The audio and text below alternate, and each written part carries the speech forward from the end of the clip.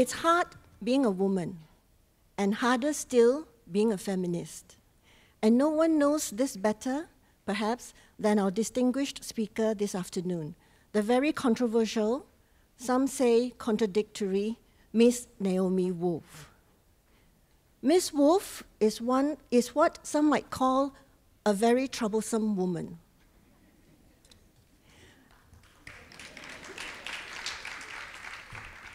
As an author, she has written commentaries and exposés on the exploitation and control of women by a relentless beauty industry and the impersonal autocratic processes in America's maternity wards, questioning, among other things, the predominance of cesarean births in the 1990s, both of which re can resonate with us here.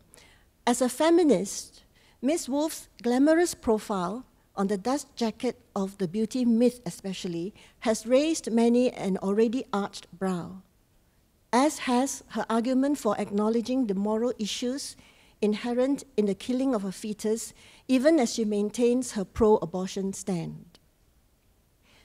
Ms. Wolf is a Yale alumni. In 2004, she attempted to engage her alma mater over a matter of sexual misconduct by a professor. Yale was unresponsive at the time. I hope that the university's recent iteration against campus sexual misconduct under pressure of its victims is some vindication for Ms. Wolf.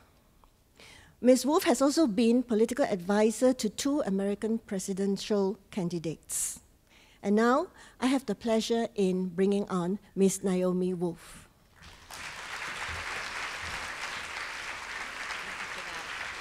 Wow. Thank you. Thank you so much, Dana. Thank you. Thank you. It is amazing for me. Thank you so much for that kind introduction. I can't think of anything nicer than to be introduced to a whole new country as a troublesome woman. I wear that proudly. I hope it's the right kind of trouble. And, um, and it's really a dream come true for me to be in Singapore, which is somewhere I've always wanted to be, and the conversations that I'm having here, uh, and the kind of eye opening experience of encountering this fascinating and complex and magical place um, is. It, it, it, it's really extraordinary, and I hope it's the, the beginning of many conversations in the future. Um, so, what I'm going to do today is talk about the beauty myth, but then I'm going to use that to pivot to kind of a, an overview of issues in feminism and global feminism because I think we all care a lot about the beauty myth, but there are, you know, we're in the middle of a gigantic revolution. And it's a revolution that in some ways, you know, you hear uh, and and you know people in regions throughout the world are really at the forefront of. Um, so that's the arc I'm going to be taking today. And I want to just, um, can you all hear me in this beautiful space? I want to start by telling a little joke about revolutions. Um, and the reason I keep using that word, revolution, is that women are rarely told by the media or by society in general that they're actually getting it all completely right. Um, they're, and they're almost never told that they're winning. Uh, and actually, the women's movement and the fights that women throughout the world have led for the last 30 years in particular um, have won what I would call, as I hope a very careful student of history, the biggest and most important set of victories our human species has ever manifested on the planet. Round of applause. So I just want to start out by saying you're doing it right. We're doing it right. It's working. The world that we're giving our daughters is, uh, you know, eons different from the world that our grandmothers came of age in, wherever they were on the planet. Um, and, and it's not because, you know, patriarchy just handed it to us. It's because brave, courageous women, some of them I recognize here as pioneers of the women's movement here in Singapore, uh, you know, fought and struggled and strategized and didn't give up and had faith that this world could someday come to be. So I just want to tell you that. It's not that we're not facing issues of all kinds. It's just that we're doing, you know, heroically. So I just want to start out by saying hooray for us. Um, now, and it is truly a revolution. And the revolution is not over. In some ways, it's just begun. Now, here's a little joke about revolutions. Once upon a time, there was a revolution. And as often happened in revolutions, three of the revolutionaries were caught and charged with treason and taken to be beheaded. These were two men and a woman. The first revolutionary was taken to the guillotine, and the headsman asked uh, him, How do you want to die, facing up or facing down? And he thought for a moment and he said, I'll face down. So the headsman pulled the string, and nothing happened. The crowd went crazy. They said, It's a miracle. God has intervened. Set this guy free. So they set him free. The second revolutionary was taken to the guillotine, and he was asked, How do you want to die? And he thought, and he said, I'll face down. So the headsman pulled the string, and nothing happened. The crowd went crazy. It's a miracle.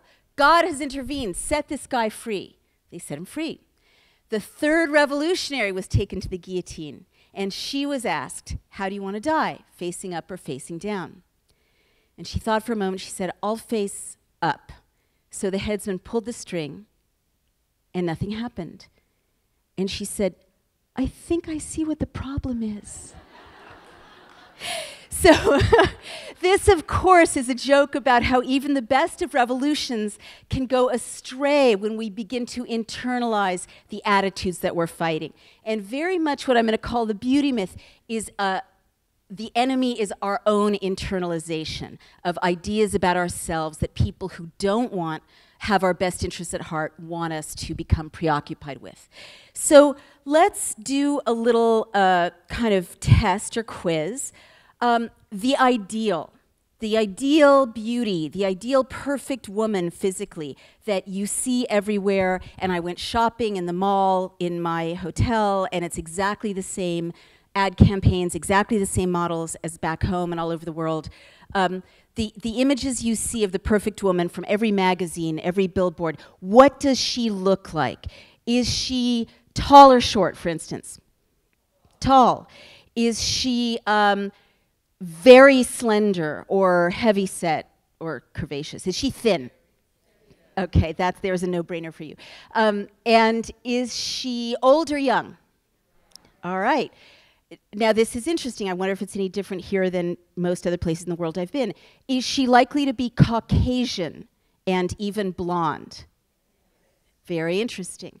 Uh, okay, so she's young, she's thin, she's tall, she's probably Caucasian, even blonde. Let's call her Barbie.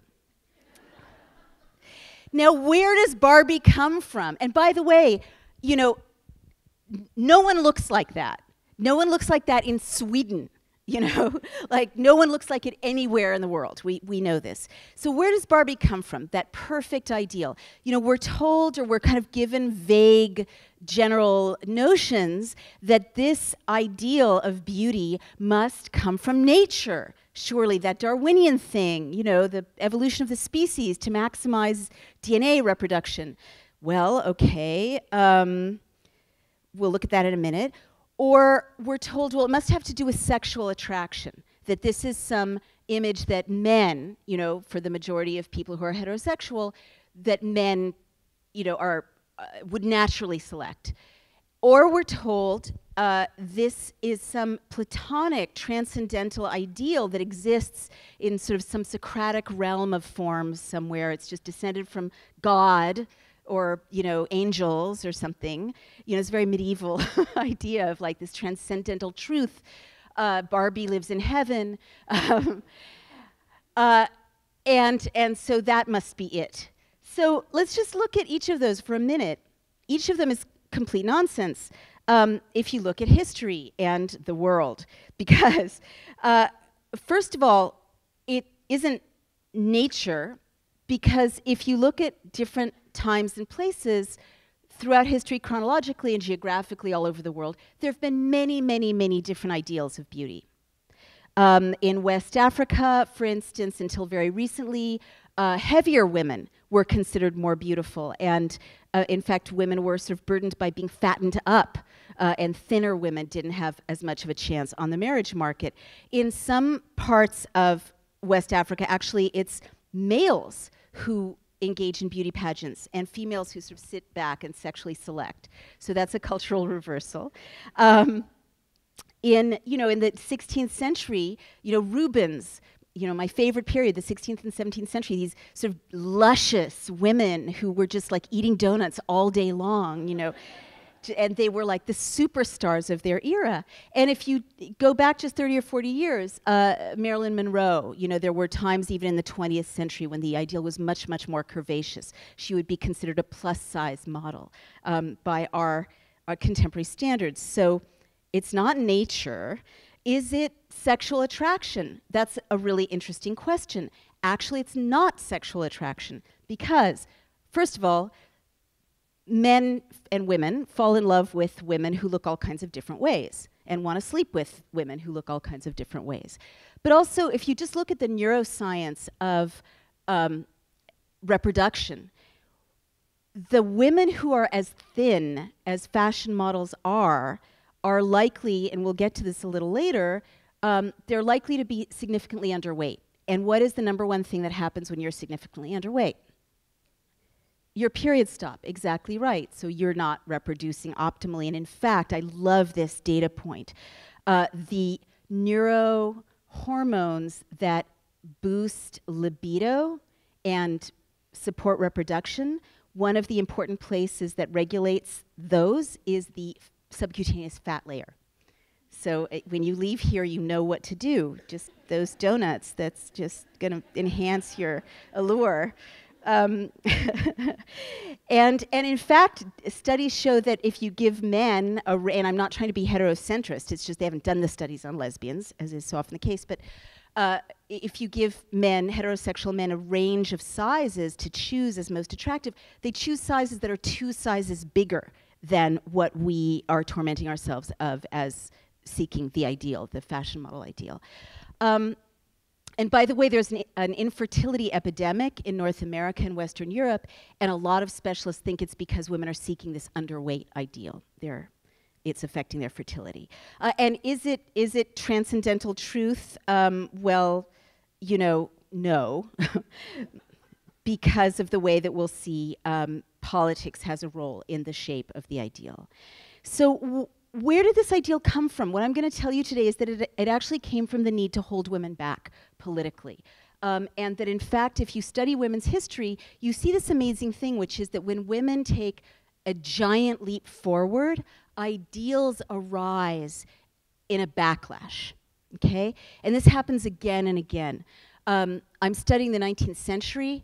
I'm the oldest graduate student in the world. Um, finishing a doctorate I began in 1984. and um, I did other things in between, but uh, you know, I'm, I am wrapping up, which my grandmother in heaven, wherever she is, is very happy about. Um, but in the 19th century, it was this huge push. You know, feminism was invented in the formal sense, uh, the suffrage movement, and the ideal became tinier and more and more passive and more and more fragile, um, you know, almost in a counterweight. And then women got the vote in 1920, and when was the first year that the flapper ideal uh, appeared on the scene? Suddenly, women had no hips, they had no breasts, they, and dieting became a thing for the first time in guess what year? 1920, exactly right. Um, then you had uh, World War II, and then women went were needed to go back to the home. And so you had this curvaceous ideal in the 50s, but another image uh, arose, which was the perfect housewife ideal, which Betty Friedan wrote about. So suddenly, at a time when at least North American culture needed women to get out of the workplace and go home to give the jobs back to the men returning from World War II, suddenly you were supposed to be obsessed with how shiny your floors were. Right? And this image everywhere of the perfect smiling homemaker who was supposed to get complete emotional fulfillment from polishing uh, became you know this huge cultural thing. We don't even care about how our floors look anymore right? But betty friedan had to write a whole book about it because it was such a giant pervasive ideal. Um, then another key moment you watch you almost see the female body kind of you know shifting depending on what's going on in the culture and politics 1965 something happened if does anyone want to guess which really affected women's autonomy and ability to control their destiny. The pill, you got it. Um, and what else happened? Who else appeared on the scene as the most famous fashion model? Twiggy, exactly right. I love how completely global these references are. We're just like, we all know about Twiggy. um, so and, and Twiggy was, of course, she looked like she had, I mean, she's very beautiful, but she had one foot in the grave kind of thing, give her breakfast, you know? And these things, I think, are not accidental. That at a moment when women finally have the chance to stop worrying about reproduction, stop worrying about whether, whether they're pregnant that month, stop worrying about not having control over their choices going forward, suddenly an ideal was introduced that made sure that they would keep worrying about something trivial and inconsequential rather than moving forward with their lives. So let's just look at that first aspect of Twiggy. I'm sorry, of Barbie, these E names of these, these sort of like Bambi, you know. um, let's just look at the thinness of the ideal. Something weird happened even with fashion models in the last 30 or 40 years. 40 years ago, the average fashion model weighed 10% less than the average woman. Do you want to guess how much less the average fashion model weighs now than the average woman? Oh God, I heard over here. Oh God. 25, keep going. 30, keep going. It's 33%. And it's not like the average woman has inflated by 33% in that time. Um, the, the, proportionally, the size of the fashion model has dropped. So, what do most women have to do to approach losing 33% of their body weight? Duh. I'm sorry, I shouldn't say duh. I'm supposed to be a global intellectual. um, what, what diet, someone said, right? Okay, so when I was 13, right before I got uh, an eating disorder, it was triggered by um, reading. Well, actually, I'll tell you the whole story. Bobby Salen, um, whom audiences all over the world know his name by now, and that's maybe mean. I should probably use a pseudonym, but uh, he was a kid in my in my uh, Hebrew school who sort of said to me, um, like, something like, getting chubby, wolf. And, uh, and of course, I reacted the way any 12 year old would. I went on a diet and I figured out how to do that by reading my mother's Cosmo magazines. And at that time, diets were about 1,200 calories a day. And so I went on a 1,200 calorie a day diet and I followed it carefully. Within two weeks, I had lost um, you know, a lot of weight. I was a normal sized child, by the way, but I wasn't fashion model thin. And then within two months, I had full blown anorexia, which lasted for a year. And at my sickest, I weighed 83 pounds. I was five foot four. And my doctor said he could feel my spine through my stomach. And I, I, tell you this because he also said that I had to eat or I would die. I had to gain weight or I would die. And he was really ahead of his time, uh, even knowing about this, because at that time people really were not familiar with these illnesses in the way that they are now. Um, I guess what I want to share is that during that year, my brain changed even more than my body because I couldn't, I was a smart, bright, you know, argumentative kid. And, and, and that year, I literally could not think about anything but food. And all the normal developmental things that teenage girls are supposed to be thinking about, like you know, opposing their parents or um, boys or, you know, dreams. They all shut down. And my, my brain was completely colonized by thinking about food. And what I want to share with you is that when I forced myself to eat and gain weight, which is one of the most difficult things a woman can do in this culture, um, within a month, my brain had cleared, my obsessions had cleared, and I began to think normally and process information normally. So when I started to look at anorexia years later when I was writing The Beauty Myth, uh, I knew that the narrative about anorexia that cast it as a neurosis was wrong. And in fact, when I studied the physiology of starvation, everything became clear to me what had happened to me. Because when you go on a 1200 calorie a day diet, your, your body operates at a level of semi starvation. In fact, after World War II, the international uh, refugee organizations airlifted food to starving Dutch women because they were subsisting at that level of calorie intake. And what's striking is how chic these almost starving Dutch women look by modern standards in photographs. But when you're um, subsisting at that level, you the brain actually creates an addictive response to starving. And then, so in other words, it's lowered calorie intake that for many women who get eating disorders cause the eating disorder, cause the obsession, cause the preoccupation. By the same token, you can clear a lot of these eating disorders when your culture insists that you have to treat yourself well and be healthy and you know, knock it off, you know, because it's not good for you. Um, and this is a big insight because uh, is you know every woman in my in my college had some sort of body obsession, anorexia, bulimia, and I knew that these women were not all neurotic, crazy people, and I knew that they didn't come from neurotic, crazy families, and I knew from what had happened to me that there must be a causative link for many women, not everyone, between artificially low calorie intake and obsession, preoccupation. So, why would the ideal cause this kind of preoccupation to pursue?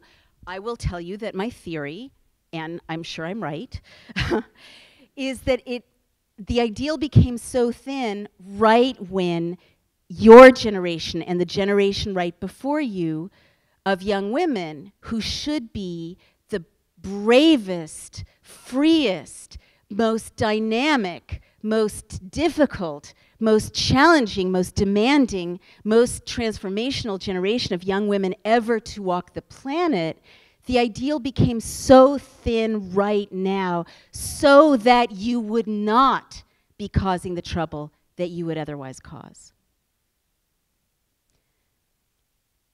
Was that a big round of applause in Singapore terms, right? um, and uh, and so that's the politics of, of the way this idea looks. Let's just look very quickly at two other um, aspects of Barbie her youth. Uh, so, why is she young? Why is she young? Why is she so young? And again, you know, people fall in love with people of all kinds of ages and stay in love with them. Uh, I will tell you that my research into anti-aging creams was pretty hilarious because it turns out that um, nothing penetrates the dermis. So, so it means that all of these, you know, you go into a department store and it's like $125 for, you know, La Mer, you know, placenta of a zebra thing, Eh, you know, all, all of this stuff that's supposed to transform you and work miracles actually doesn't do anything at all. In the United States, you need a prescription to get anything that does anything at all because the FDA knows that these things you buy over the counter don't do anything. They don't get anywhere. They don't they, they, they just can't like you read these what magazines can say i don't know what the laws are in singapore but before the beauty myth came out, there were still laws in North America and Western Europe where these ads were saying cellular transformation. Like cellular transformation is like cancer, you know? like, I mean, you just don't, it doesn't transform the cell. So, uh, but they could say anything, and women were spending, you know, multi billion dollar industry. um, I'm sorry, multi-million dollar industry, um, and and probably, you know, in the powers of multiples around the world. Uh, so apart from the profit motive, and by the way, the dieting industry is a $300 million dieting industry in the United States alone, but apart from the profit motive, why would the ideal be so thin? I'm sorry, so uh, young. So young that when you read a magazine, what you're not told is that uh, literally lines are airbrushed out of women's faces, even if they don't want lines airbrushed out of their faces. So you're basically reading censored material all the time when you just look at an article about a woman in the news who could be in her 30s or 40s or 50s or 60s. Um, the magazine will airbrush the lines. Why is that? Because the major revenue in a glossy magazine is the advertisers. And the advertisers don't want you ever to see a women held up for public admiration in the mass media who are not extremely thin because of that industry and who are who don't look artificially young because of the anti-age cream industry. Because the anti-aging cream industry because it doesn't actually sell you anything depends on your looking in the mirror and thinking god this woman's 50 in vogue magazine and she looks 30 years younger than i do. You know there must be something really wrong with the way i'm aging. I better buy the placenta thing you know immediately. Um, so there's this active censorship going on in the mass media. I actually am friends with someone who used to produce uh, be one of Oprah's producers, and she said that there were any number of fascinating women uh, that they just couldn't have on the show because the advertisers wouldn't let them have women of various shapes and sizes uh, or various ages as guests on the show. They had to follow a very narrow uh, kind of window of what a woman looked like. And women in, um, in television generally say that that's true as well, that you can have incredibly dynamic women, but the advertisers won't let you showcase them um, if they vary from a very narrow model. And uh, you know, I see from just watching TV at the gym here in Singapore that your TV presenters are, you know, tr- trapped in the very same double standard that our TV presenters are trapped in. And the last thing I want to talk about super briefly in terms of the ideal is her cosmetically enhanced status. I mean, uh, surgically enhanced status. So um, the Barbie, our ideal fashion model friend, she's tall, she's thin, she's young. What else is anomalous about her? What size are her breasts? They're huge, right? She's super thin and she has really big breasts. How often does nature make women who look like this, right? And not only are her breasts really big, but they defy gravity right? They're just floating in the air like blimps, you know, like just floating. Like there is no, um, there is no physics where Barbie lives. so, so she, why is that? Because she's, she's surgically augmented. Now, I wrote a whole chapter on the dangers of cosmetic surgery in the beauty myth, and I was a 26 year old English major. In other words, I didn't have any medical training whatsoever. But what I did do was just look at a couple of uh, trade magazines, magazines aimed at plastic surgeons. And what I saw there shocked me because there were many, many advertisements for breast implants, which you'd expect, they're plastic surgeons. But these advertisements sold the breast implants in the multiples as a set because they knew that there would be a 30 to 70% rupture rate and they'd have to be repeatedly inserted, repeatedly inserted. And not only that, they sold the doctors insurance to cover the fact that they knew that there was this 30 to 70% rupture rate. But when you read articles in women's magazines, it didn't say, oh, breast implants, be prepared for a 30 to 70% rupture rate and repeat uh, surgeries. Um, so I saw that there was this disconnect between what the doctors knew and what the marketplace of women being targeted knew. Now, once again, why do women's breasts look like that in fashion magazines and in billboards and so on, but especially magazines. Partly because if you look in the back of the magazine, a major advertiser are these doctors selling uh, cosmetic surgery, and breast enhancement is a huge industry. By the way, plastic surgery varies in its popularity region by region around the world. I've been told that here in this part of the world, um, nose surgery is a very popular thing, but that breast implants are popular as well, just not talked about. Um, so, so even though I knew nothing about medicine, I knew that you know I was able to report on these complications that turned out later to be, you know, confirmed and the subject of big congressional hearings and FDA changes in how uh, breast implants are marketed. Um, but uh, you know, plastic surgery has become more and more uh, accepted and more and more normative.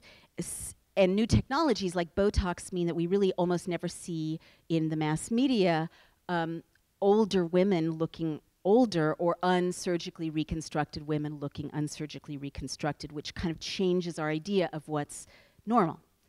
And the last thing I want to say about that is that since I wrote The Beauty Myth, I think that the uh, what I call the official breast, you know, Barbie's breast, the, the only permissible breast to see, even though women's real breasts vary so much, um, that's kind of entered women's consciousness, especially young women's consciousness, more and more because of the impact of pornography. And so, if young women grow up, I mean, everyone who grows up today really grows up learning about sex from pornography. And I'm not making a moral judgment about this, just it, ch it changes in a very intimate way how free women feel about differing from that ideal. Because if they feel like that, they have to look like that to be sexually well treated or to feel good about themselves sexually, that's a much deeper way of internalizing these ideals than before pornography became so much a part of our lives. Um, so now that I've shared like the deconstruction of Barbie, I just want to say that it's not a magic bullet or a magic wand. Like now that you know how she's constructed, it doesn't mean you'll never think about this ideal again. But I have found that knowing how artificially she's constructed, and by the way, when I wrote The Beauty Myth, it was airbrushing that made her look like that, and now it's digital. Like when you look at these ads, you're not seeing a real human being anymore. Literally, they take the picture and then they stretch out the legs, or they elongate the neck, or they do all kinds of stuff that has nothing to do with how that original woman even looks. But now that you know about how she's put together, it it may free up some space. Or this is what I found is that people take this information and then you know, go through a process of critiquing what they see around them. And what I'm excited to say is that all over the world, um, new generations of women are having new conversations about what I've called the beauty myth and creating new solutions for seeing beauty in all kinds of other ways, reclaiming the definition of beauty and reclaiming it as a, and I think this is a political thing, for women to be able to say, I am beautiful. You know, it's a very transgressive sentence um, without handing over the validation to something outside of themselves. Now I want to talk for a few minutes about feminism in general. Is that okay? That we've deconstructed Barbie, now we can kind of move on because we've got all this energy and you know freedom to think. Um, so Barbie is just a symbol, and in every culture, she's kind of a Rorschach for ways in which women are suppressed. Um, but now I'm going to go on to kind of ways in which women are fighting back and talk about a, a crisis and an opportunity in feminism in the bigger picture. so I said when we started out, this, this quiet is Singapore listening, right? Okay. I like I come from such a rude city that it's hard to get used to courtesy. it's like, what are these people doing? Oh, they're being polite. Okay. okay. It's like, um, yeah.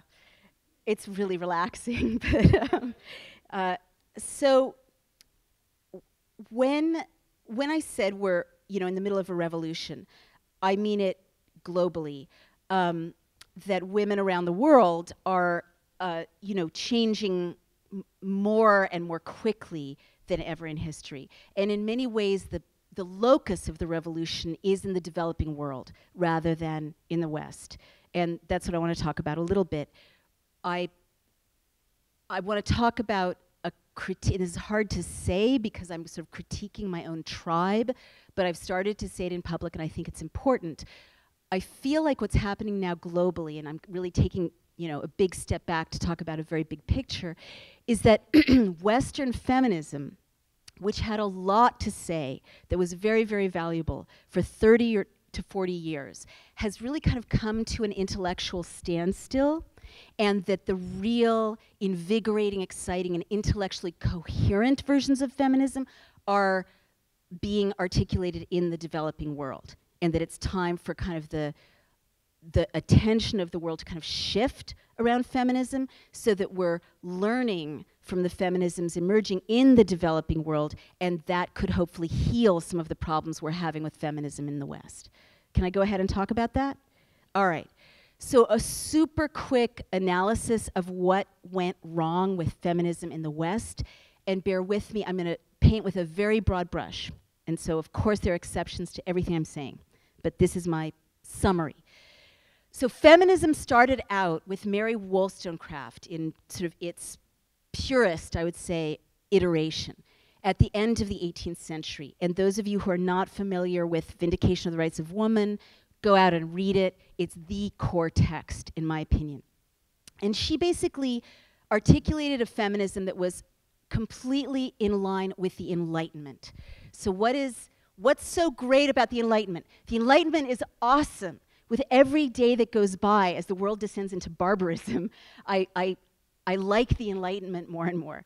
The Enlightenment was a time when people like Mary Wollstonecraft um, and all of her sort of male peers and colleagues were talking about the rights of men and the rights of women, as she chimed in, uh, talking about um, equal dignity for all, um, basic freedoms, freedom of expression, freedom of religion. Obviously, the United States and what we used to call American values emerged out of the Enlightenment.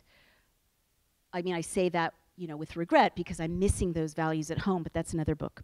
Um, so what she said is women need to evolve to be free exactly the way that everybody else needs to evolve to be free, right? It was an Enlightenment argument about basic human rights. So, who's going to argue with that? No one can say she's wrong. Anywhere you go in the world, this is a, like a no brainer kind of position, right?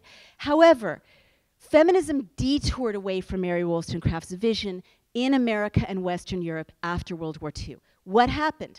A, a couple of accidents of intellectual history.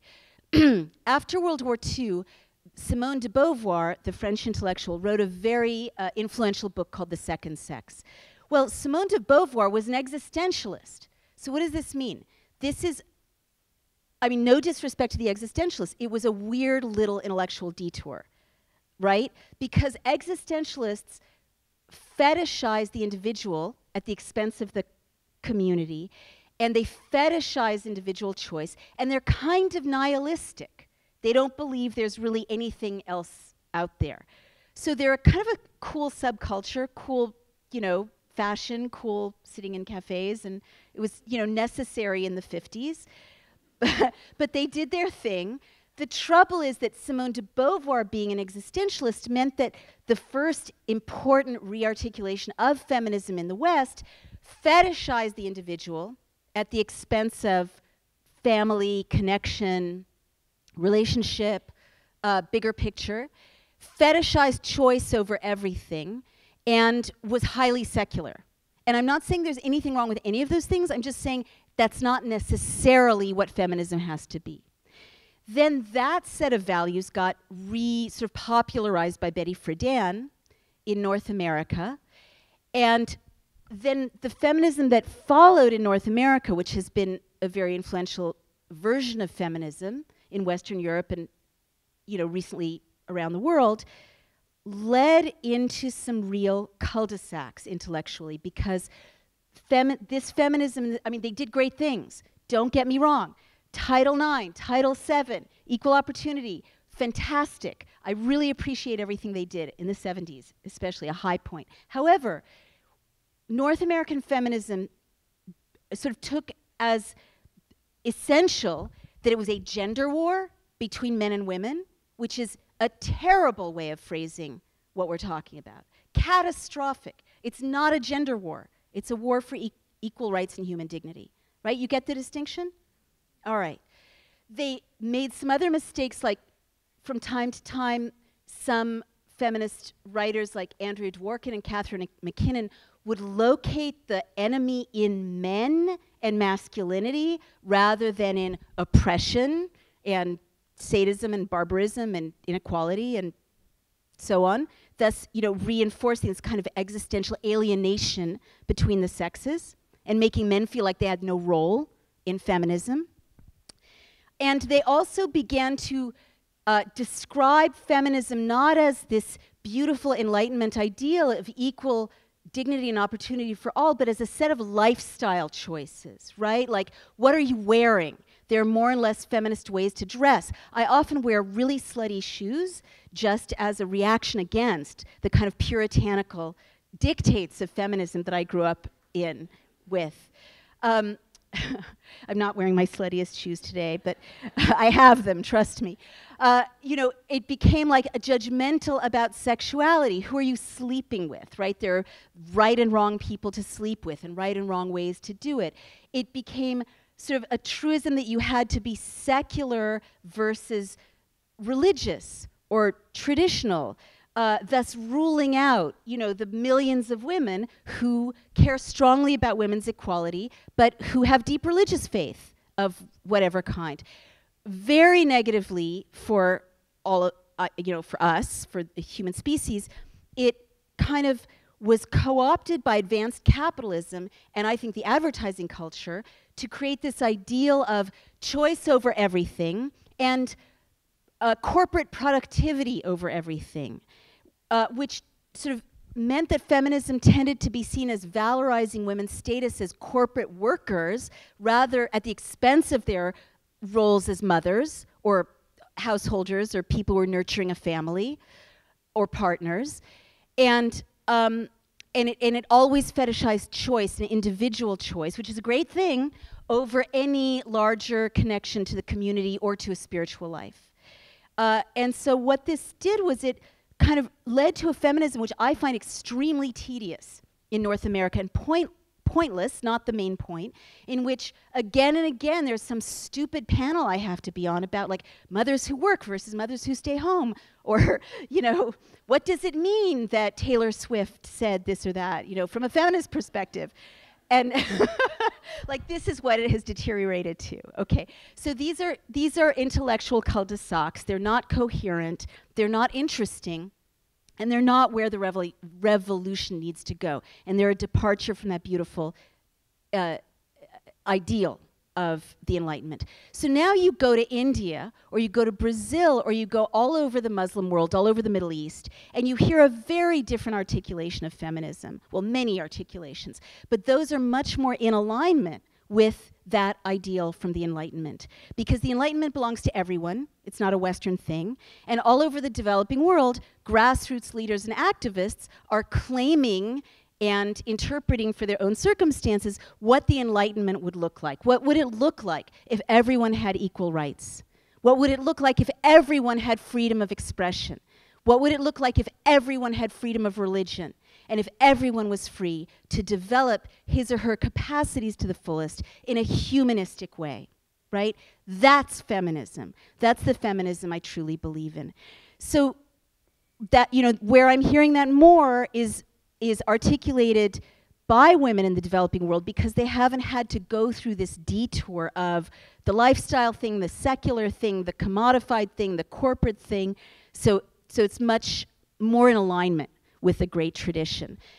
I want to say, too, that you see solutions in the developing world that you're not seeing in North America as a result of this.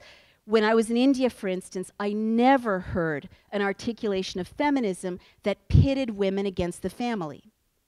And I think that's very healing because of all the jobs I do, the one I'm most proud of is being the mother of two beautiful children. It's much harder than writing eight best selling books, trust me, and takes a lot more thought and care. Um, I'm not saying I'm not proud of my other work. I would not want to be to not have a choice. But I'm saying a feminism that dials down my sense of the importance of being a good mom or of the role of love and nurturing and caring, let alone spirituality and other non transactional things, uh, doesn't speak to the whole of my life and what I care about. And so I felt much more realized as a woman talking to feminists in the developing world rather than in North America. Um, and I don't have time here to go into the incredibly exciting ways that I've seen women in various parts of the world, but most, most notably, you know, Africa, Asia, and the Middle East, basically, sort of everywhere else, uh, you know, put these theories into practice. Um, but I, I think that the ways in which they're doing that is tremendous corrective.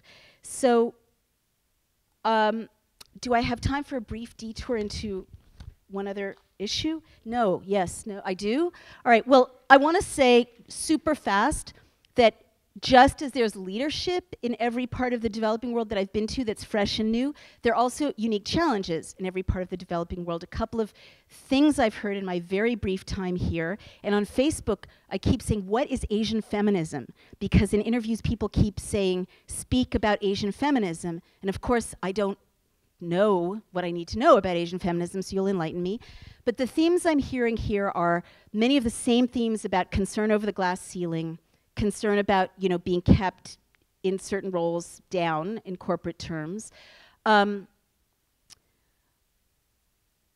an interesting uh, cultural issue, and every region has their own cultural issue, but in a culture that values uh, courtesy and sees self aggrandizement as rude, how do women advocate for themselves? That's a really interesting question. It came up a lot at the Leadership Institute I co founded, where you had women from different parts of the world. And in the more polite cultures, women had greater I don't want to say difficulty, but it was not comfortable to be as pushy and obnoxious as you know people from my culture are more comfortable being.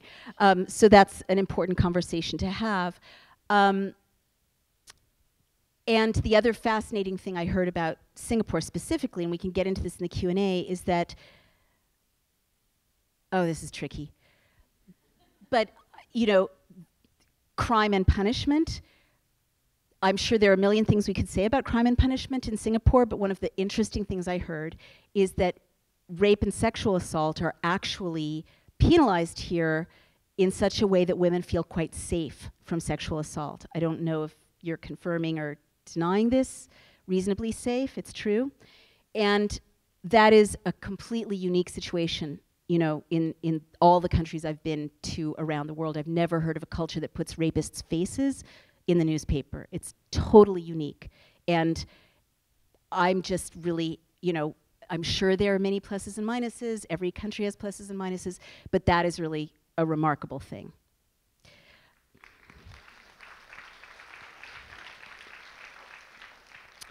I want to move on quickly to Islamophobia, and then I will have covered what I want to cover with this talk. Do we have two minutes for Islamophobia? All right, thank you. I know this is a multicultural country, and I know it's not a Muslim country per se, but it has a strong Muslim influence. Um, a huge challenge to hearing the voices that we need to hear globally is the way certain geopolitical entities, mostly based in my home country, are trying to whip up Islamophobia and using feminism as one of the ways to do it.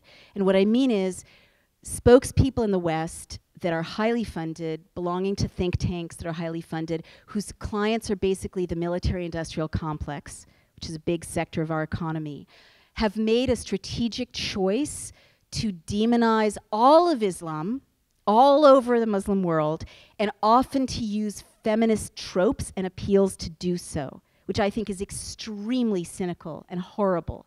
Um, and so you'll get uh, this whole industry of paid commentators in North America, but they have influence globally because the media is increasingly global, who will always amplify some awful thing done to women in a Muslim country and assign it to Islam rather than to that, you know, practice or that local culture, um, and kind of not ever shine a light on the ways in which many Muslim feminists around the world are using the Holy Quran and reinterpreting, you know, you know, squarely within the traditions of Islam to advance and advocate for women. um, and doing it very successfully. I mean, there's I took you know Islam 101 in college, and I think I was taught by a very enlightened guy because he showcased the ways in which the Holy Quran was a feminist document. And so to me, you know, and traveling all over the Muslim world and meeting these incredible Muslim feminists, there's no question that, you know, you can be deeply religious in that tradition as in any and advocate effectively from within the religion for women. Um, and that this is you know, a huge thing that's happening in the world and a very, very important one. But because of this whipped up for profit Islamophobia, we never hear about it. And in the West, there's this artificial divide being, and it reminds me a lot of anti Semitism in the 30s, frankly, uh, being um, kind of fostered and fomented to to kind of fetishize women's issues in Islam as a way to create distance between peoples rather than drawing people together. And one tiny example of this is the hijab.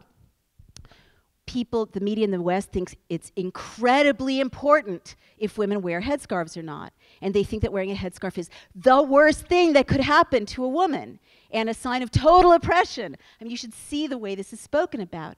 And I feel very privileged to have traveled throughout the Middle East and talked to many passionate feminists, educated, ambitious, intellectual women who choose to wear headscarves for many, many, many fabulous reasons that have nothing to do with what the West is sure a headscarf represents. To the point that I keep trying to explain to the West you can't tell a thing about a woman's sense of gender politics by whether or not she's wearing a scarf. Um, they won't listen to me, but what I did is on Facebook, which, where I have this global community, it's a democracy building uh, project I started uh, with friends called, well, colleagues called dailyclout.com. I asked women to speak to me about wearing hijab. Tell me why and tell me why not. I, in 20 minutes, got 500 answers from around the world, about 250 about wearing hijab, 250 about not wearing hijab. Every single one of those answers was a feminist answer. There wasn't a single answer I would not describe as feminist. In other words, the way women described the choice to wear hijab was narrated in terms of personal discovery, personal boundary setting, personal self respect, autonomy, uh, a journey in relationship to God. It was categor, you know, not my dad made me do it, my brother made me do it. I'm not making a sweeping generalization about women's lives. I know every woman's life is unique and there's you can find horrible things anywhere.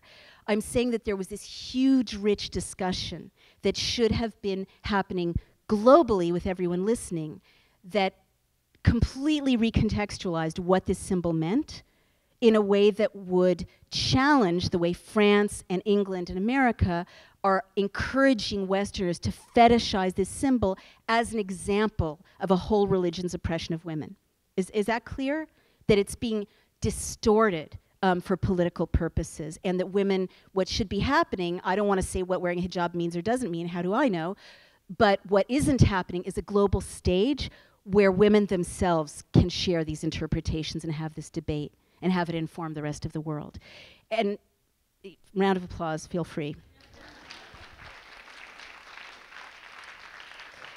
and and part of the reason I bring that up as such an important example is that when you travel in the Muslim world and talk to eh, powerful feminist leaders, the scarf is the least of their worries.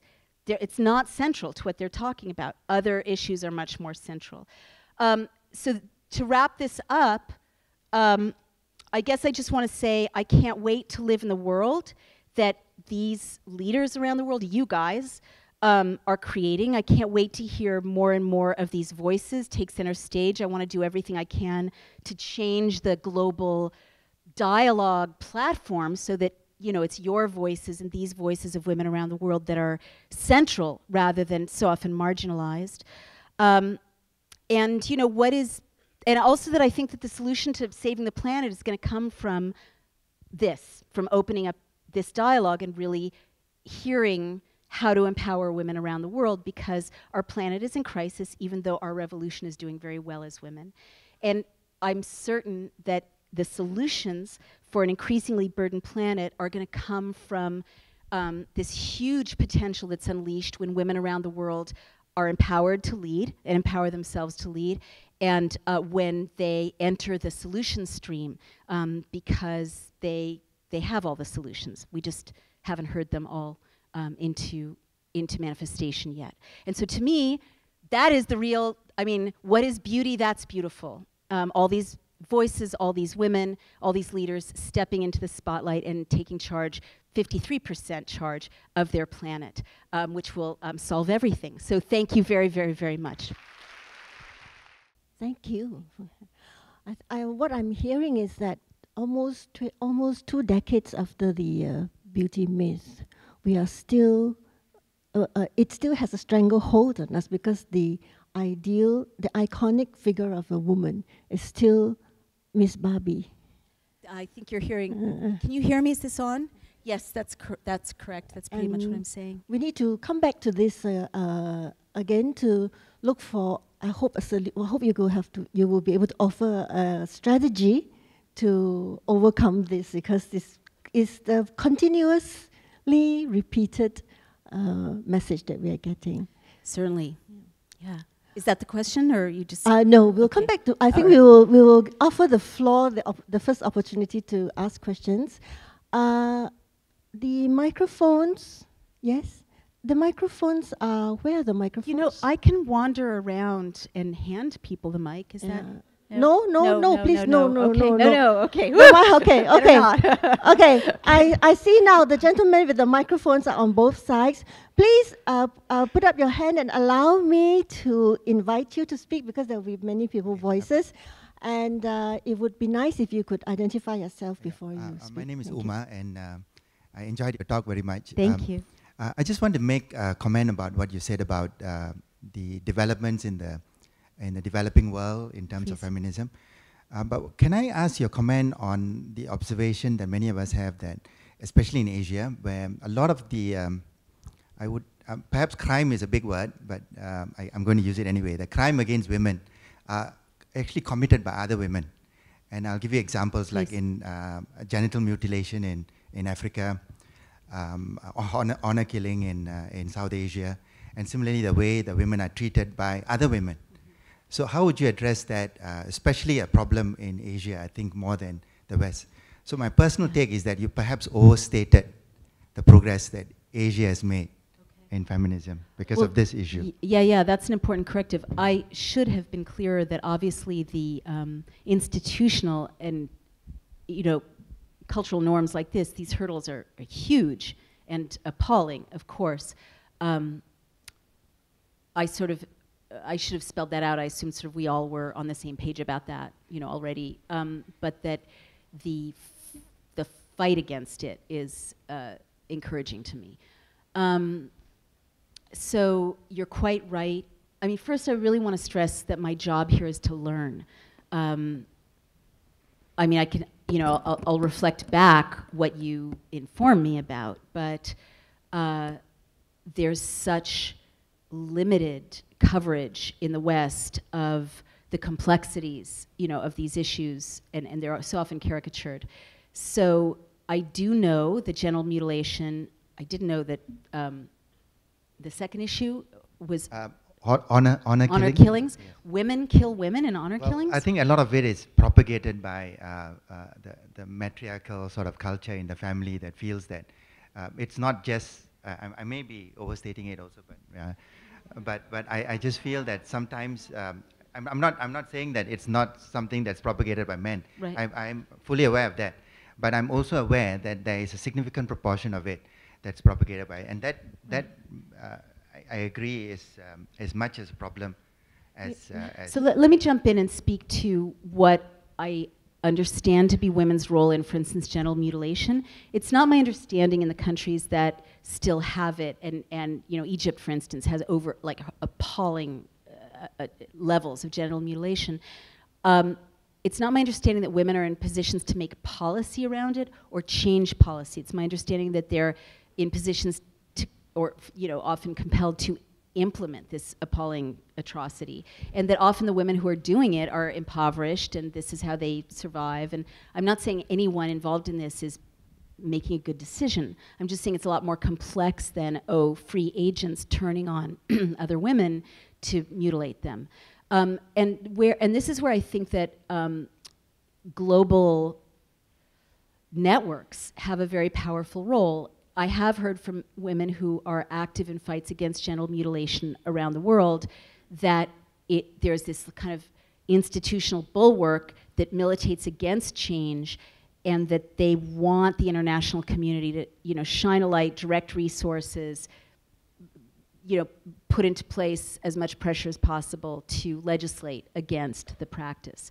Um, and so that's an example of what i'd like to see more of which is women on the ground uh, defining the policy how they want to address it what they want to do and then you know the international community kind of backing them up um, because those things are so entrenched that it's very, very difficult for activists to make lasting change because they're cultural, you know, and, and presented as religious issues rather than as, you know, workplace issues, for example, that are easier to make policy around. Does that make sense, what I just said? Does that, does anyone else think that? Am I missing something important that may you want me to know about this? May I add, yeah. may I add that a lot of times these women are, are, are acting uh, in accordance to the, their task of having to perpetuate a culture and a tradition. So, can you exp- say, explain more about what you mean by that? So they, we are pressured by the tradition right, right, and the culture right, to carry out to carry out certain types of uh, because we are raised to believe in that culture that's the norm, and women have been given that task of of protecting that very culture that is detrimental right. to themselves. So right. unless they have been empowered to see that there is another way to approach their lives, and unless they are supported by enough of, uh, of voices around them, yeah. then they have really not no very choice. much choice. That's yeah. really true. That's really true. Thank you. Shall yeah. we have a, a, a, second question, please? Yes, the lady in red. I, I want to I want to say one more thing about that, which is I, my most recent book is called Vagina, and I have a, s- thank you. I love Singapore. Um, I have a whole chapter on um, sexual trauma from genital mutilation and rape. And it turns out that um, Uh, I, I, find this fascinating. The neuroscience shows that there's a brain vagina connection and a brain clitoris connection, obviously, but that it has to do with women's confidence. In other words, that the when women are supported by their culture, in identifying their own sexual desire and knowing how to have sexual pleasure, it boosts neurotransmitters in the brain that create feelings of confidence, focus, ambition, drive, assertiveness, right? Feminist states of mind. And so when I saw this science, I realized, of course, genital mutilation exists. Of course there's rape in war because it's not about some it's not about the vagina, it's about the brain. And that when you traumatize women by excising them, you're also making that feedback loop impossible to you know, create these feisty, aggressive, assertive women. Um, and that that's why there's been this taboo against women knowing about their sexuality you know, in every culture.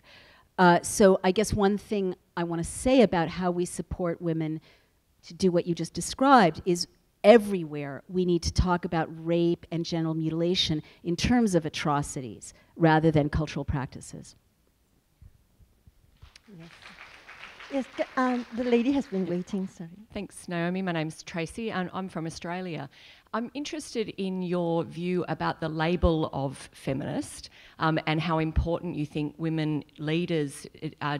It, how important it is for them to take on that label as feminist. And, and, the reason I ask that question is in Australia, we have one female cabinet minister who just in the last couple of weeks has said, no, she doesn't label herself as a feminist. So I'm wondering about the label versus the behaviour. Yeah, I guess I, I would say I'm really not that concerned about the label. It's handy for any movement to have a name. And it's also handy because then you can know your history. But I'd rather have a world in which everyone acted like feminists and didn't call themselves, use the F word. um, yeah, it doesn't concern me that much. I see, I mean, I just kind of turned in my card as a Jew publicly a few, you know, a month or two ago because I know that sounds ridiculous. Um, but I, I, I basically was so uncomfortable with what Israel had done in Gaza that I just didn't want to be aligned with that anymore. And I wanted publicly to say, I'm done with this. You know, I'm something else now. Not that I'm not culturally Jewish or religiously Jewish, I am, but that that relationship I wanted, it was, it was burdening my ethnic identity. So, by the same token, I'm not that comfortable with the way a lot of Western feminism defines feminism. So, I could see, I'm not going to get rid of the word, but I could see if other people are really uncomfortable with it and want to create other words, I don't have a problem with that. I think people, you know, should create words all the time. Look at queer history, you know, the many names people have used to identify themselves as gay or lesbian. Um, it doesn't matter to me that there are many names. What matters is that people keep fighting. But may I be prov- provocative here? And um, what, if you deny the word, if you deny the name, aren't you denying the whole the, the work that has gone before it and the the meaning of that word? Look, I don't think it's helpful to deny the word feminism, but I do think that women tend to be puritanical and judgmental uh, in their political lives. And I'm not saying you. And that one thing we tend to do is police how other women engage in feminist politics. And I'm much more interested in creating a movement in which everyone who cares about women feels like she's free to innovate her own journey and even create her own language. It's handy to have a word that means feminism. It's handy to have a word that means gay, you know, but if that becomes reified, it's not helpful. I mean, here's what I would like I would like for feminists to be like me. no, I'm just kidding. Totally kidding.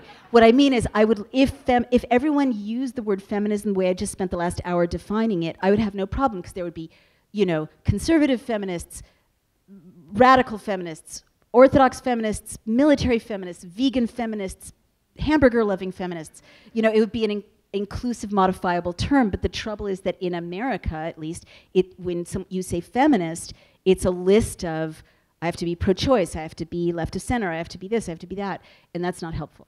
But isn't it that at, at the bottom of it all, if you took away all the different layers of the, di- the differences, isn't it isn't feminism simply about protecting the individual's rights? Yes, the it, right it is. that that for women to be regarded as an individual as much as a man is regarded as an individual. Yes, that's my definition. Right. But I get in a lot of trouble with feminists for making that case. Oh, okay.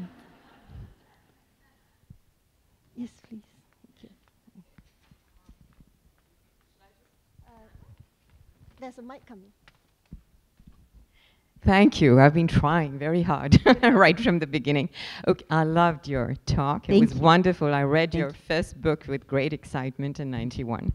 Um, I had two or three points that I quickly wanted to sneak in. One, I personally feel that unless women have more political power, you know, they are definitely still going to be that second sex or whatever you want to call them. Absolutely. Political power is extremely important. I come from the land of Indira Gandhi. I'm an Indian. So we actually had a very powerful woman prime minister, but that doesn't mean that most Indian women have political power or equality right. or anything like that. Yeah. The second point I'd like to raise, because I have actually been in academia most of my life, is that in the West, it is commonly believed that the school systems, the education systems, were often pushing girls in a certain direction beyond, you know, beyond teenage. Don't go for science. Don't go for computer science. Don't go for this. Go more for the humanities. Uh, hopefully, those barriers are breaking down now. But I think that does happen in many other countries too. Yes. And that, of course, makes a difference to what the woman is going to do It's once true. she's finished. In the interest of maybe many other questions, is it, were those the points you wanted to make? Uh, yeah, well, I don't know if you can publicly comment on it because um, there is this book by Sheryl Sandberg, which is being talked about a lot. And a lot of people think of her as a feminist. Would you? I mean, I don't know if you'd make a comment. Not for me. Sure. No, I look. I comment on everything publicly. That's Oh, why great. I get in trouble all the time. But um, it uh, upsets me so a little yeah, bit. yeah. If that's your question, sure. I just met Sheryl Sandberg uh, two weeks ago. We had a meeting in the face- Facebook campus, and um, sure, she's a feminist. I'm like, I'm so much less concerned about who calls himself a feminist. I, I guess what you're hearing is I hate purity campaigns in any shape. You know, I hate policing. Um, I hate identity politics in a way. You know, I think we all need to see our common humanity and relax. But yes, so is she my kind of like? Are there differences in how we see feminism? Probably. I think she underanalyzes institutional discrimination and gives too much credence to the individual. Do I think she's a valuable voice in the conversation? Sure, because here's another thing that happens to women. Women are raised to have a psychology of scarcity, so that if one woman gets the spotlight, we all go, oh no, she's going to speak for all of us. And then, you know, we have to stop her. Whereas if we think about abundance and creating multiplicity of opportunities, then we focus on creating a world in which everyone can have their say and we're not so threatened when someone shows up who doesn't do it exactly the way we do it. I'm glad she exists, I'm glad I exist, I'm glad you exist. It's all good.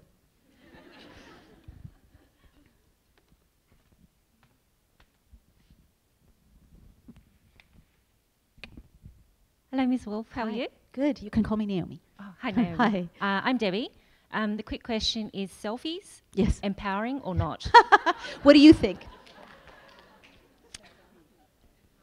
yeah, I kind of think it's empowering, but Go ahead. Yeah, in Tell another me. way, it's a lot of selfies that you see, or that I see, unfortunately, it just um, pandering to this pandering. They sh- they're like this ideal. They're the Barbie, you know, the ones that get shared on Facebook are the ones are the girls with the big boobs and the little, you know, the little waist, and they look like prepubescent boys with boobs, basically. So I don't know if that's empowering or if it's just, you know, pushing on the Barbie ideal. So what do you think? I mean, uh, see, this is one of those moments where I'm really more interested in what you think because you're of that generation where this is the world around you, right? So this is the this is one of these feminist issues you'll you guys will have to kind of write the books about. Um, but because I'm here on stage and I owe it to you to answer, um, uh, you know, of course, I would say both, right? And and that that's why I, it's always like the thing isn't the thing. The thing is the set of relationships around the thing, right? So having a camera and taking your own picture could mean I love myself so much, I'm going to show the world that I'm fabulous no matter what. Or it could mean I'm stuck in a prison in which I'm showing the world that I've lost five pounds and that's the only way I feel good about myself. It's not the technology that determines that, it's your, the psychology around it. So I'm more, what, what interests me is, um, you know, how do we make sure that those young women who are doing that uh, are doing it m- mostly out of an abundance of self-regard that's positive and healthy. Yeah. Um, I- in a weird way, though, I kind of feel like owning the means of production is more empowering than not. That the fact that social media exists means that everyone can make their own magazine. And on balance, I, I do think that's better. Yeah. Yeah. Thank you. You're welcome. Can, Thank you. Can we give the people at the back uh, a chance first? Yes, the lady in white. We'll come back to this side.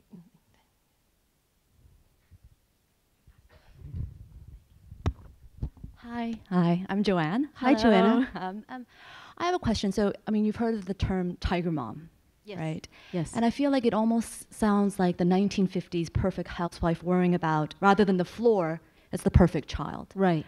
So, do you think this is like a backlash of overeducated women just sort of feeling frustrated, or do you think? I mean, I'm I'm a mother of three kids, so I'm Yes. part of this whole movement, right? And for me, I find it The tiger mom movement? Not the tiger mom, but you know, part of it as in, you know what I mean? I'm I'm I'm part of it because I have three kids, and you can't escape it nowadays, right? And um, I wonder if it's actually changed the way mothers raise their kids, and it's maybe a little bit negative, and actually the people think of mothers now in a more sort of aggressive way. Yeah, you're really onto something, and I wish you would write that book. you know? um, yes, bad.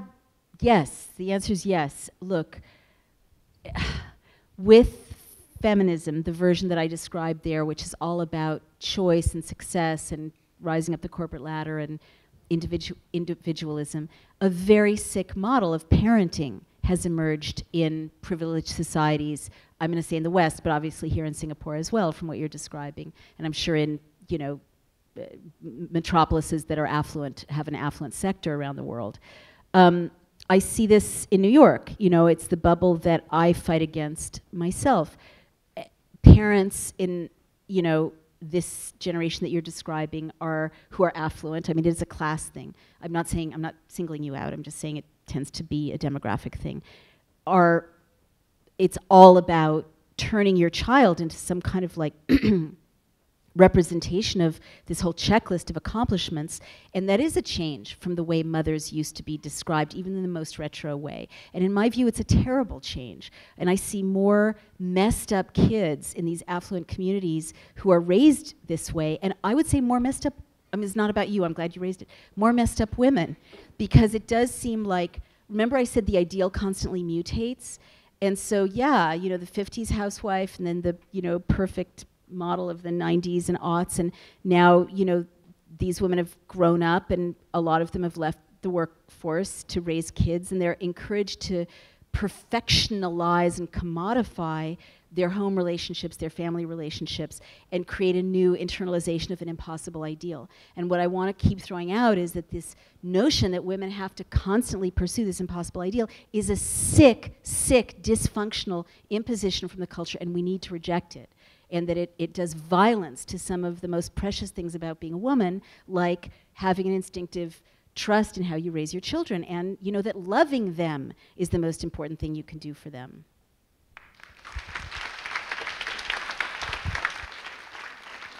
Thank you.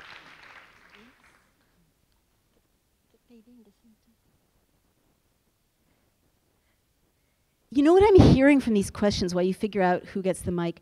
What, what is becoming super clear is that peer pressure, you know, is, is big for women and, and the perpetuation of oppressions, whether it's being scared to be the first person on your block to, you know, not excise your daughter, to being the first person on your block to not do Kumon or whatever it's called, you know, the, you know, special intensive prep. And that I think that we need to, when we talk about feminism and the success of feminism, I really want to throw out that we need to be willing to be weird, you know, like really weird, like not fit in. But someone has the mic now. Yes. Yes, Hi, please. Naomi. Uh, Hi. My name is Amy. I'm from New York. Hi. And my question is as more and more women are choosing not to have children, we see this great divide in the conversation between those that do and those that don't and their shared experiences. How can we bridge that gap? And I think there's also a resentment toward women that are choosing not to in the workplace. Yeah. So, how do we overcome that? Thank you. So this is a great, they're all great questions, but this is a great question because to me it's an example of a fake issue. I mean, not that you're not describing something that's real, but it's real in the media, in my experience. and it's real in the workplace because, but for a fake reason. So I'm not, I'm not challenging your question. What I'm saying is the reason this is portrayed as a big, huge issue is that North America doesn't want to have a work family policy. Um, in countries like Holland that do have work family policies, you don't hear this discourse of, oh my God, you're staying home. Oh my God, you're going to work. Because it really doesn't matter. The state is taking care of the needs of women who work and women who stay home. so that's, I guess, what I what I'm encouraging in, in, North America is for us to be more critical about media narratives because they often cover a political agenda, which is chambers of commerce just don't want to spend the money to give women the kinds of choices they have in countries with a social welfare net. Is there anyone upstairs? Yes. Yes, please. Uh, it is on. Uh, my name is Michael Swidell. Um, Naomi, thank you so much for your presentation. Thank it's you. incredibly insightful. Thank you. And despite what you may say about the word feminist, I would proudly say that I am one. Awesome. That's wonderful. You're going to make a lot of friends here tonight.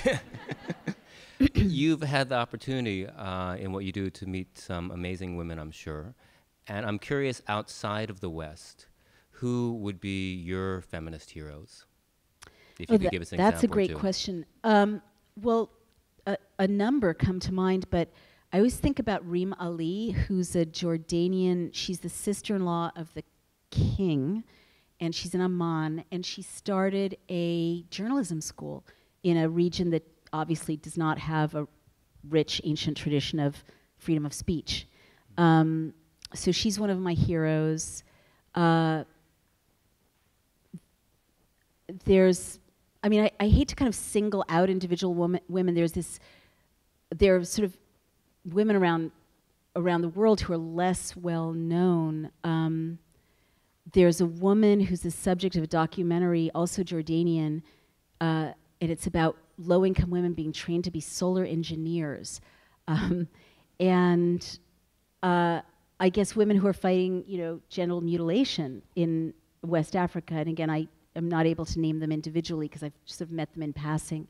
Um, but the the way that they brave, you know, huge social opprobrium to to engage in that fight is very very inspiring to me. Um, and I mean, I'm just thinking about when I was last in India. You know, again, it's a lot of women who don't have a kind of national brand name, brand name recognition. A group of young journalists in India who were female journalists who were very concerned about um, the way that women are raped on the street in this particularly horrific way in India. And then I encouraged them to become citizen journalists and document a young Indian woman's perspective about this. And so they send me updates, uh, which I publish on my Facebook, you know, social media those are the kinds of women who um, inspire me.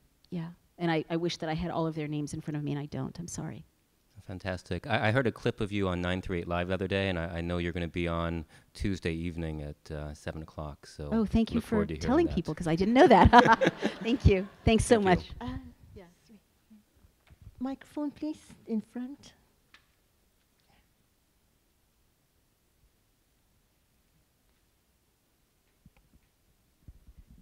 Hi, um, I'm Elizabeth. I'm also from New York. Um, I just wanted to know what is the next step then? You said you're a little bit tired of the trivial conversations about Taylor Swift's new lyrics. So, what, or that we've taken detours. Yeah. So, what is it, what in your mind would be a good next step for us in the West?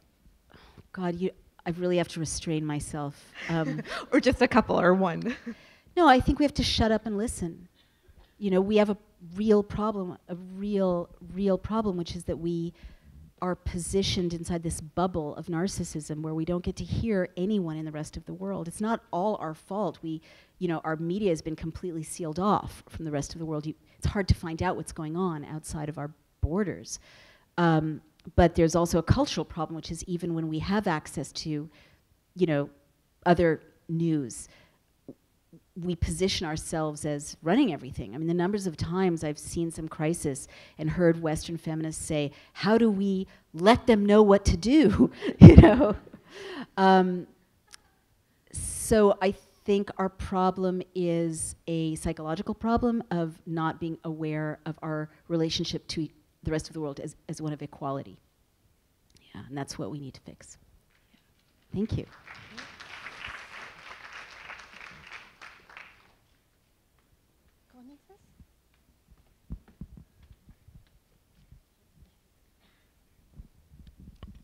Thank you very much, Naomi. Thank you. Um, since you've been here, you've been talking to a lot of people, done amazing homework from the comments that you made. But my comment is about second wave feminism and third wave feminism. And I think that second wave feminism needed to happen. Of course. You know, otherwise the third world, uh, third wave feminism wouldn't have happened. Absolutely right. So it's it's a maturity of that, and the second wave feminists did some amazing. amazing. I mean, that's the amazing. that is the revolutionary period of totally of right. I totally agree with you. and and I think that's also the problem is the American version of the second wave feminism, and there were there's a continuum of extremism as well as there is uh, very moderate feminists who who have achieved and I think in Asia, that's what we tend to follow, at least in Singapore, that's right. what we tend to follow. The more moderate version. More moderate yeah. version. And so, although we like to call ourselves feminists, and, uh, and I agree with Dana that we need to, I think the word feminism has been, or feminists have been demonized to such an extent that people don't want to associate themselves with that and also they don't want to they want they think of feminists as that extreme brand of feminism. Right right. So so do you have a, is that a question or an observation it's my comment. It's your comment. Well yes. thank you. I mean i should really stress that while i gave a critique of second wave feminism tell me your name again. Constance. Constance is absolutely right. Phenomenal revolution did so many things right and the nature of a healthy you know, movement is when each generation, like, I can't wait for you guys to write your books about how wrong I am. That's a sign of health in, in feminism. Um, eh, but I do agree with you. And, and also, you know, they don't get the recognition that they deserve for all the things they did right. It, before we move on to the next questioner, unless we need to wrap it up, because I see some people are leaving, what is Asian feminism? When people use that phrase, what are they talking about? Or is there no way to encapsulate it? Right, right. And I think it has to do with the culture of the particular country, the experiences of the particular country. And in some countries in Asia, like for instance in India, the problems are great, poverty of women, great. Mm-hmm. Uh, Singapore cannot define what Asian feminism Okay, is. Okay, thank you. That's a mm-hmm. relief because people mm-hmm. are using that phrase, and I'm like, what could that possibly mean given how many countries there are? So thank you. I feel less stupid now. The young, the gen- young man wants to. There's someone very eager over there. Yeah. Yeah. Um, uh, one thing that really I agree with is what you spoke about in saying that feminism should be more inclusive. So one area for that is definitely perhaps the idea of men. I think especially in Asia, it's difficult for men to fully identify as feminists. Part of it is cultural, but I think what you said about what's happened with feminism in the last 20 years is partly contributing to that. So um, what's your take on this? How, how do you think that men can be more involved in feminism? And perhaps uh, a remark for Dana. Uh, given what she said about feminism having to be more inclusive, would Aware consider including men as full members?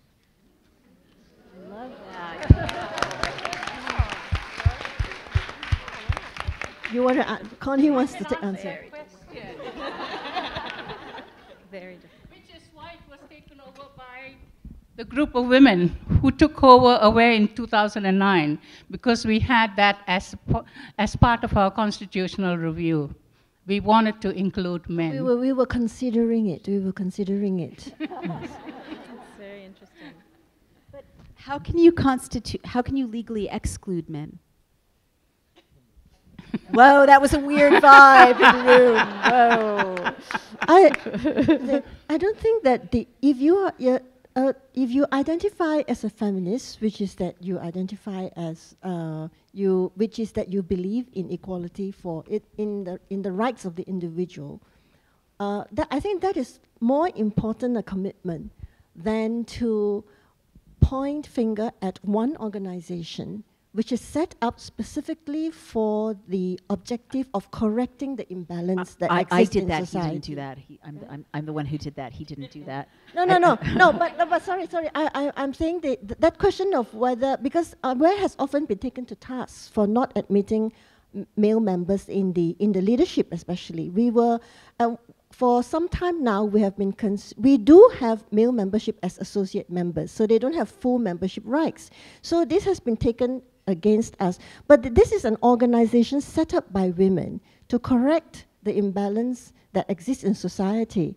So until that problem is resolved or more resolved, I think I think it is it is too early for us to to to think of involving men because you know you have a you can join in the conversations, right? You are invited to the roundtable discussions. You are invited to the to the events, and what we need is an evolution, right?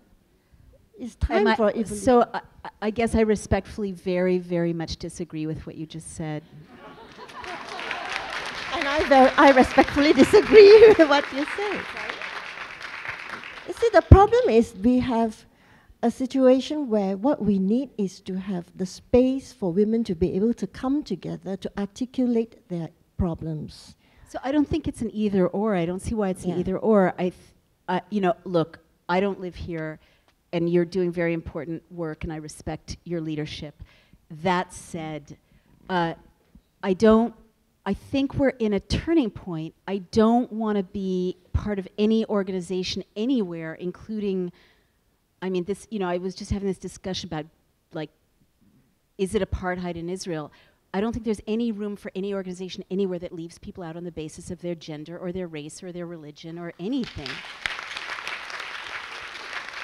And and just so you don't think, because I, I, I understand the arguments of women need space of their own and men will take it over. And my view is A, if we're so passive that allowing men or including men means that they're going to take it over, we need to work on ourselves.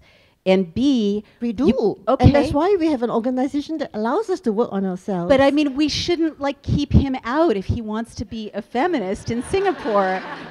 and and so all I was saying, it doesn't is have to be an Aware member to be a feminist. But, but how do you, ju- like, again, let me circle back to this because it freaked people out and I always like to go there. Um, how can you legally exclude someone on the basis of their gender from an organization? There's no gender equality in Singapore? Really? There's no law that says. How Right. Okay. Is Okay, it legal? Like, if he showed up and said, "I want to come in that, and that join," he's what uh, that we are against his constitutional can. right, he could probably yes, he can make up an He just isn't going to make that. a lot of friends. This is so Can- sad. okay. Okay. Can I can can we uh, the gentleman? It was a man who just told me we have five minutes or time's up. Can we just take one last question? Well, I feel like let's let's just like heal this breach, okay? Because you've been you've been kind enough to include me. I, I just wanted to say positively, and you know you're the expert on your organization. I don't see any reason you couldn't have events that are women only spaces discussions because sometimes women do need to talk about things without men being around and also ways of including. And let me give you an example. I was just on the barnard campus and on Columbia, this was covered in the Straits Times. There's this protest where this woman's carrying around a mattress because she was assaulted.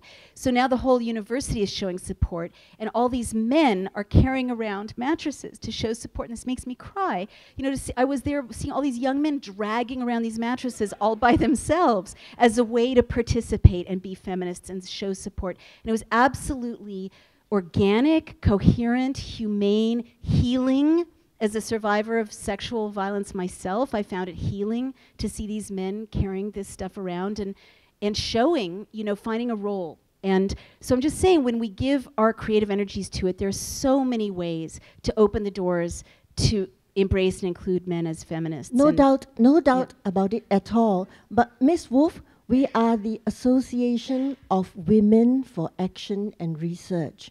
And we work in collaboration with men and other organizations all the time. But we are an association of women for action and research. So unless we change our constitution, change our names, uh, and the time might come for that, but the time is arguably not now. Okay.